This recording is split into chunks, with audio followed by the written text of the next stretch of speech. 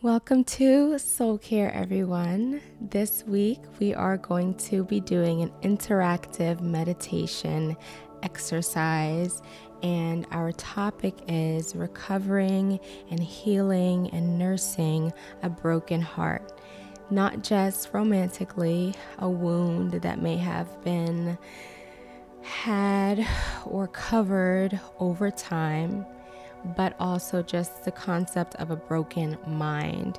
Whether that means you're going through cycles in your mind that are negative, whether that means that you are repeating certain habits that you wish you could stop, that you want to get a hold on your mind and live a better and healthier life.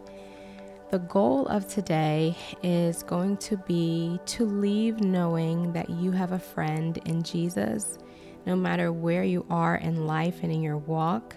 Sometimes God feels so far away, but to know Him as our friend is to know Him through pain, through suffering, through hurt, through confusion, and sitting with Him, even if it's in the silence, as if we would sit with a friend who we know just cares about our well being.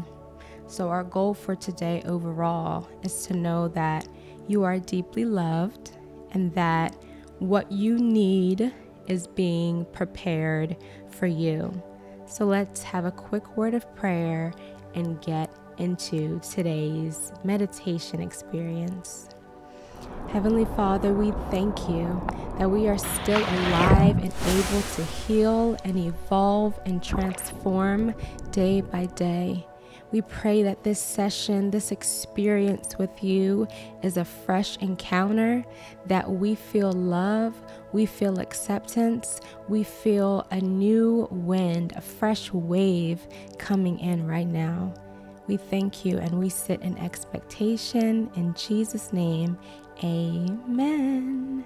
Okay, so the first portion of this, we are just going to have a moment of surrender to acknowledge any pain that you may feel, you may have felt, you may feel right now, or something you just would like to lift off of you. So we're just going to open our hands, which is going to be one of our centering exercises because it's symbolizing that surrender to God, that letting go, and that it is out of your hands. And therefore, you don't have to control the outcome. So, right now, whatever point of pain you would like to bring and surrender, please open your hands and think of what that may be. And if you can't think of anything, I welcome you to join me in surrendering my expectations of what my past should have looked like or what I hoped would have happened and that it didn't. That pain that I have felt for some time now in this feeling that things should have been different in the past. I work on surrendering that in moments that that feeling comes over me so that I'm able to move forward and enjoy and be present in the now of my life. So, whatever your heart is saying to you right now, as we open our hands, we're going to have a moment of silence for you to say whatever that might be for you.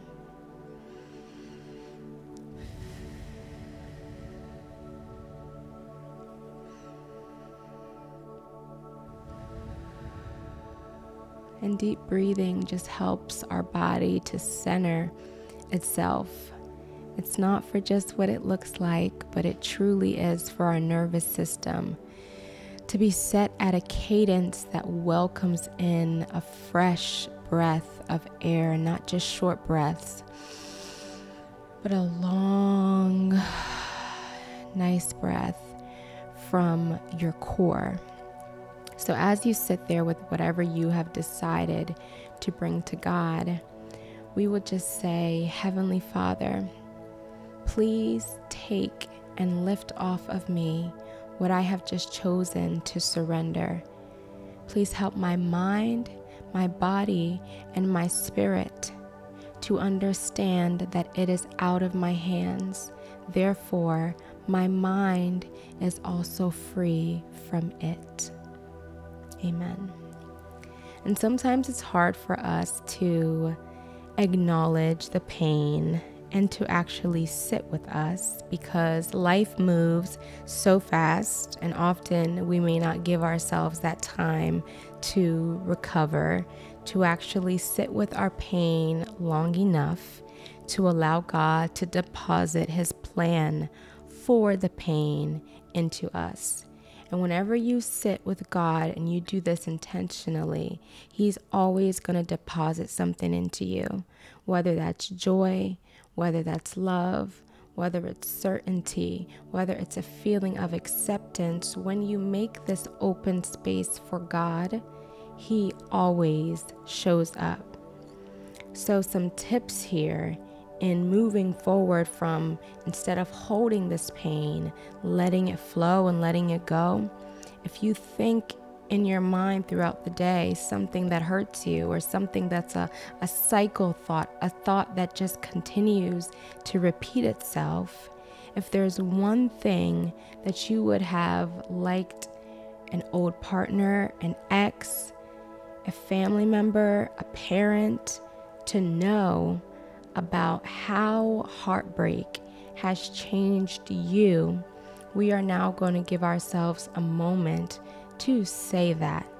Because when we go through things, even though time has passed, time alone does not heal us. Our ability to be open and transparent, not just with ourselves and God, but with others, really does help our journey of healing. So, in this moment, I would like you to think about one thing that you would have liked to say, whether it's to a parent, to an ex, to someone you were in a situationship with, a friendship, anything that may have caused you heartbreak.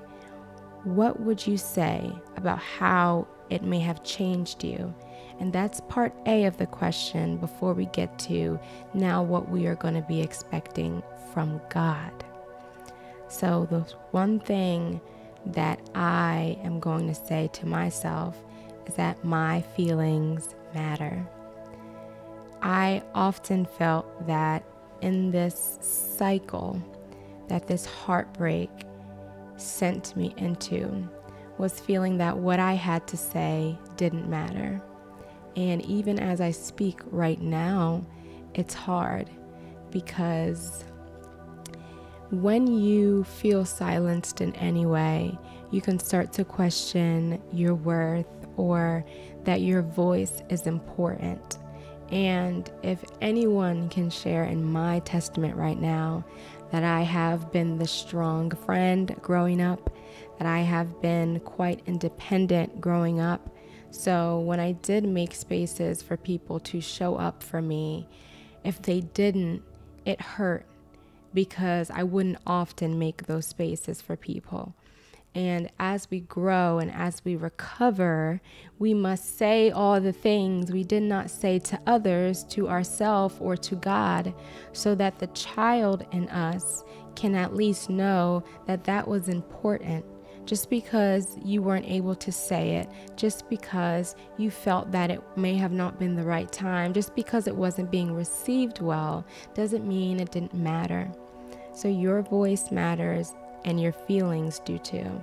So I welcome you, if you have nothing to say in this portion, to just say, My feelings matter because we are human beings, no matter how much we know in the spirit we're experiencing the Spirit in the human. So take this time. You can open your hands or you can sit with yourself. But we're going to do this before our next point.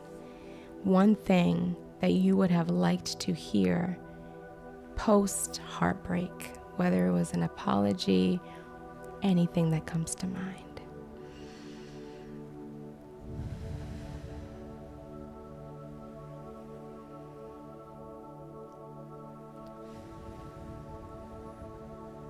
and you are on your own time frame in all of this.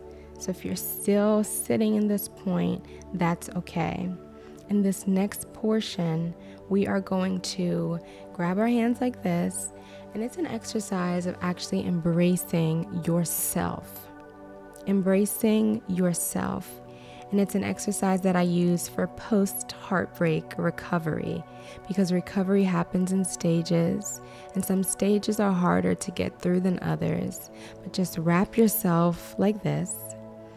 And now we are asking ourselves, what's one thing you would like to ask God to repair right now? Just as we sit, you can sway or you can just hold yourself and embrace yourself. You could even close your eyes and imagine God embracing you and telling you that everything that you have felt, every tear that you have cried, it has mattered to Him. So, if you cannot think of one thing you would like to ask God to repair, I am asking God to repair my ability to trust romantically and in friendships and even family. Because our expectations throughout life change when we think we cannot trust people. And even when God sends new people or old people in a new way, we may have trouble trusting because of things that have happened in the past. I have asked God to repair my femininity, my gentle heart, my expectation, my love, my patience. So, whatever you would like to ask God as we are in this self embrace, ask Him. I am saying, Heavenly Father, please repair my ability to trust what is of and from you. In the name of Jesus.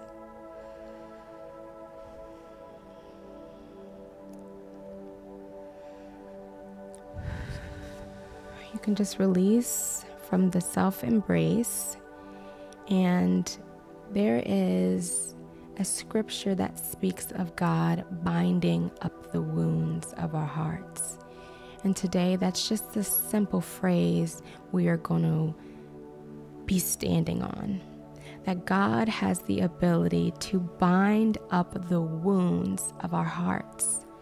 So, as we transition to this next and last point, know that God is going to bind up the wounds of your heart.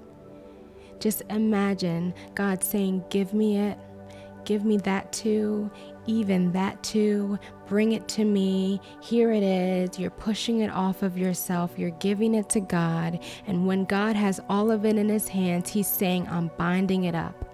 I'm covering it up. I'm making sure you don't experience that same thing again. I'm making sure you don't look back and see that same thing and expect that same hurt to happen to you because He's doing a new thing. So God is binding it up. And just picture a bundle of something being bound up and then thrown into the sea. There is a imagery in the word that is called the Sea of Forgetfulness. Imagine God binding up all of your hurt and throwing it into the sea of forgetfulness where you don't have to look back anymore because you've learned your lessons, because you've surrendered your heart, because you've surrendered the hurt, and now it's time to experience the new thing that God is doing with you. And in this session, one thing that's very important is to throw away the timeline of what you think healing should look like. Because oftentimes there is not four steps to healing. Oftentimes, even through my recovery from what I considered a heartbreak romantically and even at the same time in tandem, my own self, my own self going through heartbreak within self and family and learning new dynamics and grief and death, how these things work intertwined, can all be hitting you at the same time, but we must give them their space and each has their own timeline. So enjoy the time of healing and becoming because God is preparing a place and a table for you to enjoy. Throw away the timeline that it has to be done in a year or six months or five days or why you're not dating again, or why you're not interested in such and such, or why you can't speak to those people because they are triggering to you at the moment.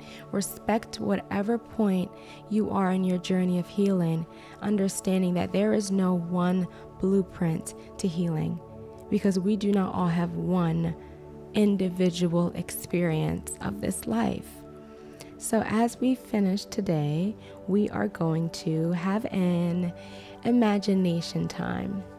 Now that we have sat with our friend Jesus and given him a rundown on what we may need to surrender, what's on our heart, what kind of post heartbreak recovery we need in the mind, now it's time to just close your eyes if you can. And I just welcome you to just relax. Relax your mind right now. And imagine God sitting next to you and Him telling you, I have heard all that you have said. I have seen your tears and I have felt your cries. I have gone through this with you. And it's not that I desired for you to feel such pain but this life can sometimes be hard.